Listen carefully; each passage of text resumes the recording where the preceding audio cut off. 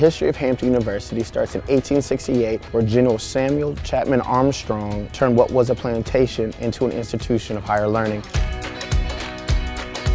Today we are here with two of our amazing fraternities and sororities and they're going to do a step off. We went to our neighborhood Walgreens where we picked up our Red Nose Day flare. These teams really wanted to support this charity because it's such a great cause. They are here to give back, which is one of the principles that our university is founded on. The Kappas and the Zetas are both defending STEP Show champions here at Hampton, so they've got a show in store for everybody.